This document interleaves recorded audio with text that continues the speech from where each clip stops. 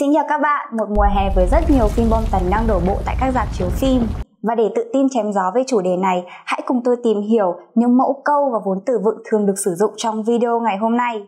Tôi là Hà đến từ Expa English, nền tảng tự học tiếng Anh giao tiếp trực tuyến đơn giản, hiệu quả và thành công cho mọi đối tượng.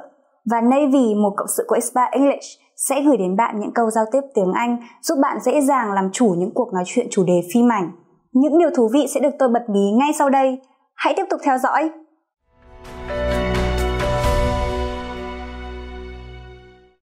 Trước đây tôi từng được một anh bạn người Mỹ rủ đi xem phim và rồi buổi đi chơi tưởng chừng sẽ rất vui vẻ, lại trở thành một kỷ niệm không mấy tốt đẹp chỉ vì tôi không có gì để nói. Đó chính là động lực để tôi làm nên video này. Những nội dung tôi chia sẻ tiếp theo sẽ là cứu cánh trong những lần bạn nói về chủ đề phim ảnh. Khi nấu ăn, bạn sẽ phải chuẩn bị nguyên liệu trước khi chế biến.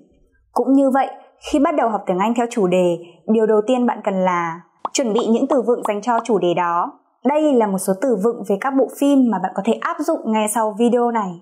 Director. Director. Scriptwriter. Scriptwriter. Producer. Producer. Screen.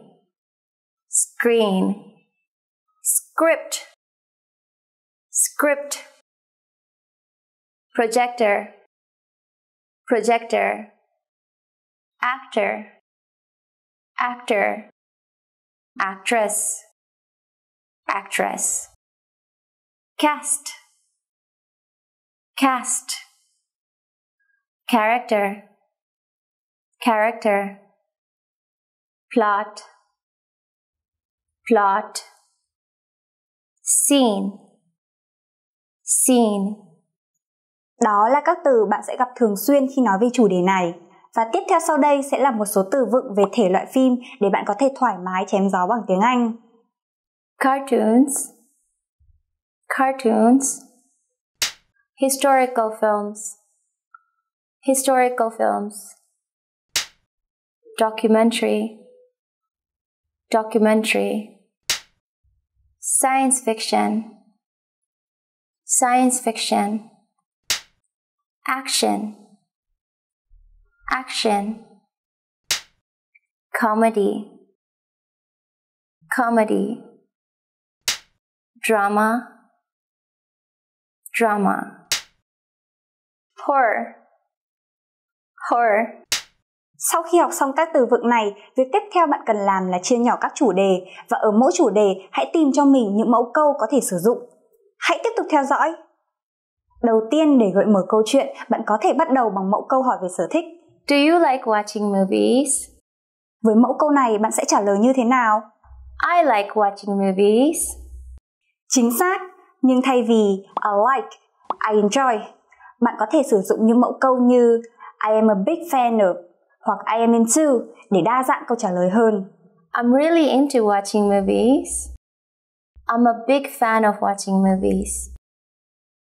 Nếu bạn không có hứng thú với phim ảnh, chỉ cần chuyển câu sang dạng phủ định như thế này.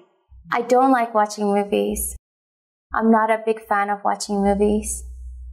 Và một cách trả lời tôi không thích rất ngầu nữa, nhưng với thái độ thân mật hơn đó là I'm not crazy about it. I'm not fond of it. Hay khi nhấn mạnh điều đó chẳng hấp dẫn chút nào, bạn có thể nói như sau. I'm not into it.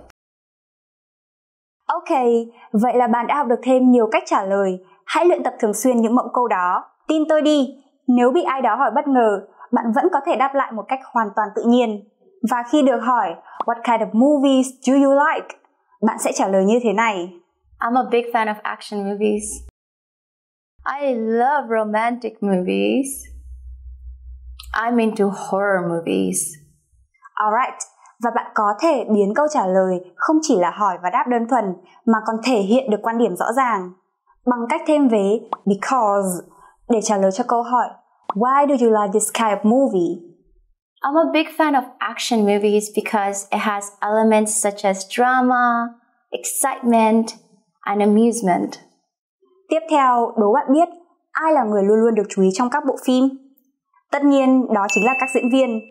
Và khi muốn hỏi ai là diễn viên mà bạn yêu thích, bạn sẽ nói Who is your favorite actor?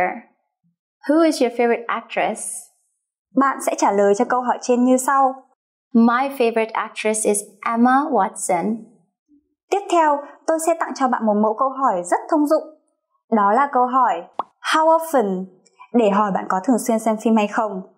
How often do you go to the cinema? Bạn trả lời câu hỏi này như thế nào? Để tôi bật mí cho bạn một công thức cực kỳ dễ nhớ. I go to the cinema.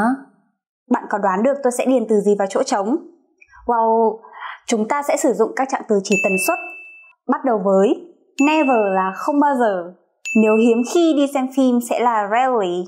Thỉnh thoảng bạn mới đi sẽ là sometimes.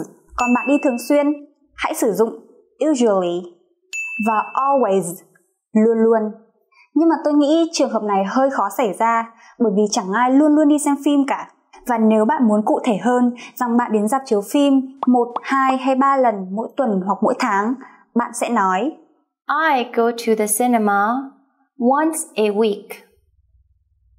I go to the cinema twice a month. I go to the cinema three times a month. Vậy là bạn đã biết cách hỏi về sở thích. Và nếu muốn mời ai đó đi xem phim, bạn sẽ bắt đầu với điều gì? Tôi sẽ bật mí cho bạn ngay sau đây. Hãy thử tưởng tượng sau khi tan học, đột nhiên muốn rủ người bạn thân cùng tới dạp chiếu phim, bạn sẽ nói Let's go for a movie. Hey, I'm going to the cinema tonight. Do you want to join me?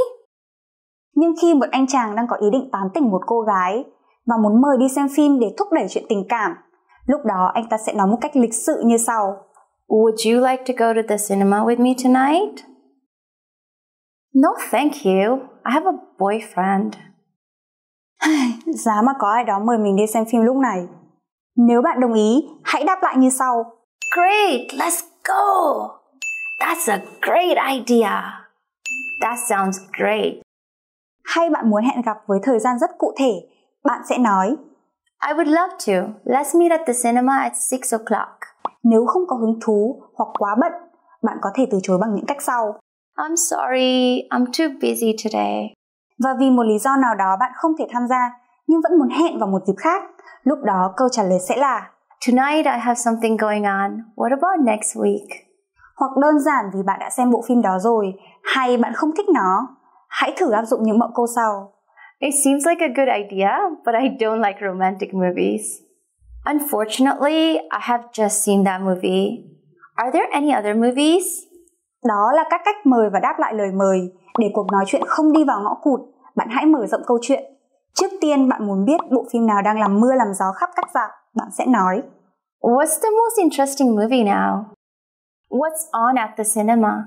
Điều tiếp theo bạn muốn biết chắc chắn là bộ phim nói về cái gì, nội dung của nó ra sao. Lúc đó bạn sẽ nói là What's this film about? Và thông thường khi chọn một bộ phim, bạn sẽ dựa trên những tiêu chí riêng.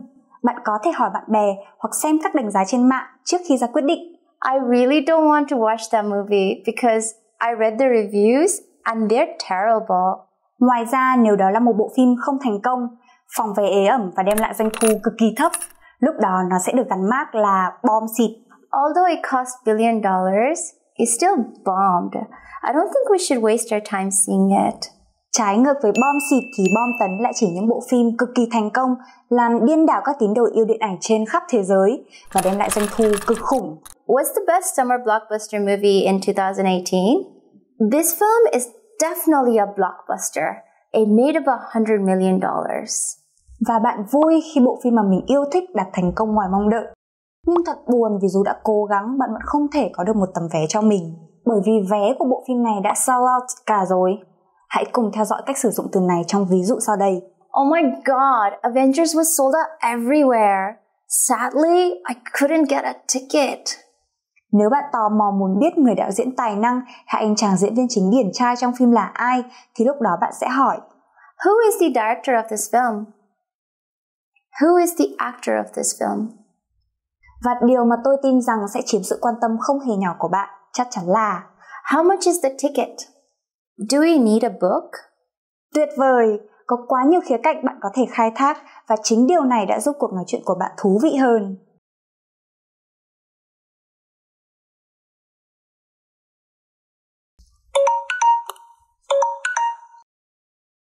Hello, Navy. Hey Ha, what are you doing now? You know, I'm stressed. I'm trying to complete my to-do list. Oh, come on, let's take a break. Thanks, Navy. Are you free tomorrow? Let's go for a movie. Great! What's on at the cinema? I heard that Avengers is the best summer blockbuster movie, but that movie was sold out everywhere, so I couldn't get any tickets. Oh, so sad. What about Deadpool 2? I've read some great reviews about it. It's a superhero movie. It has lots of action and uh, amazing humor. It sounds interesting. Mm, I'll meet you at 6 p.m. Bye. Yeah, vậy là cuối cùng đã đến ngày đi xem phim. Cầm chiếc vé trên tay, bạn có muốn mua thêm đồ ăn hay nước uống để mang vào dạp?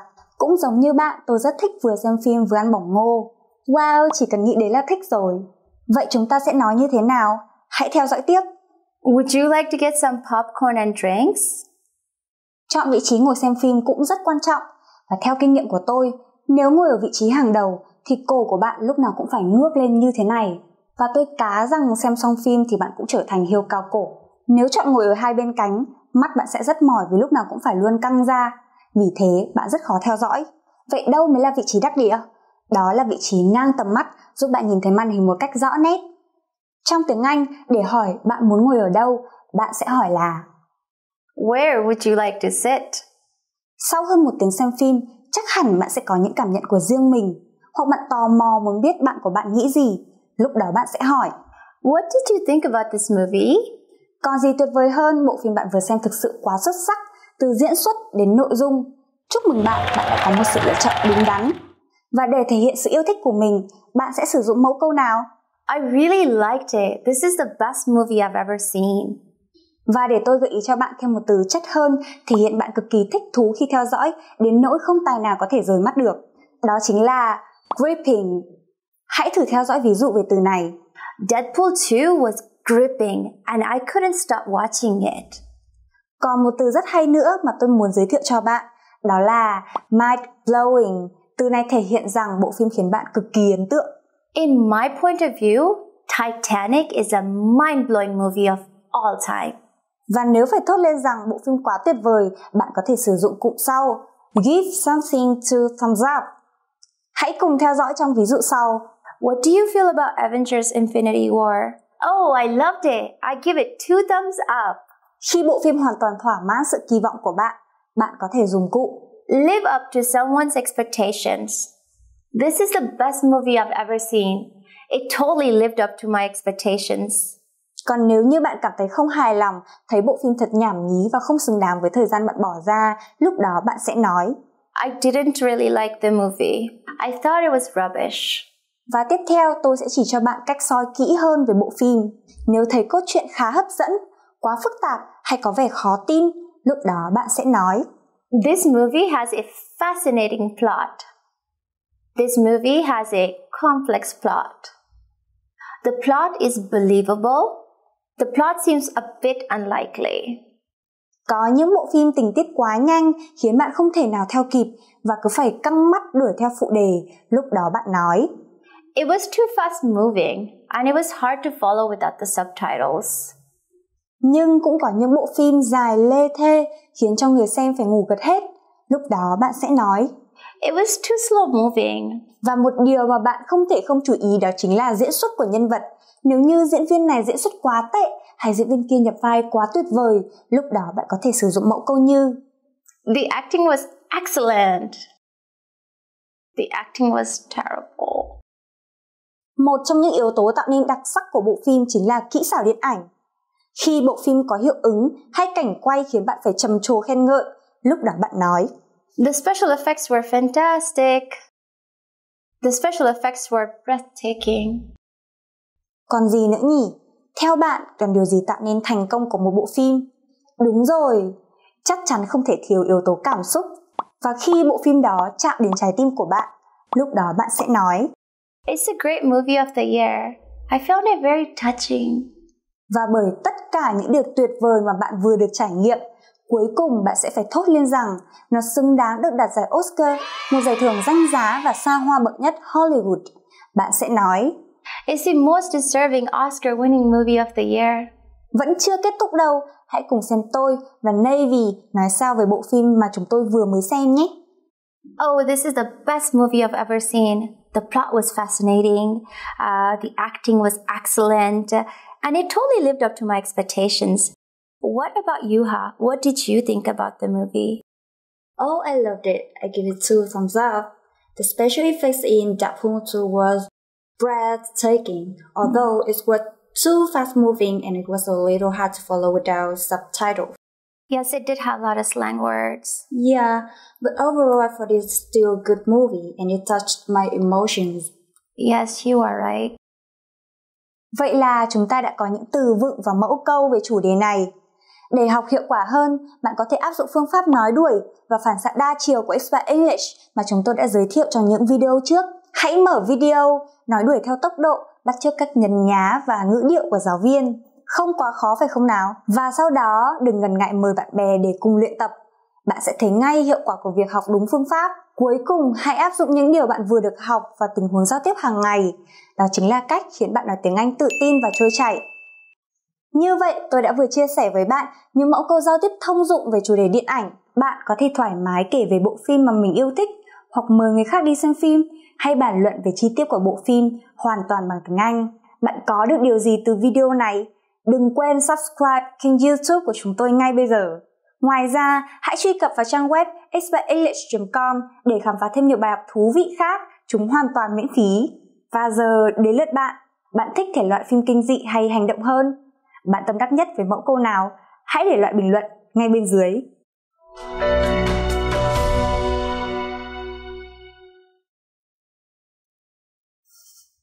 Dưới thêm nước lên rồi.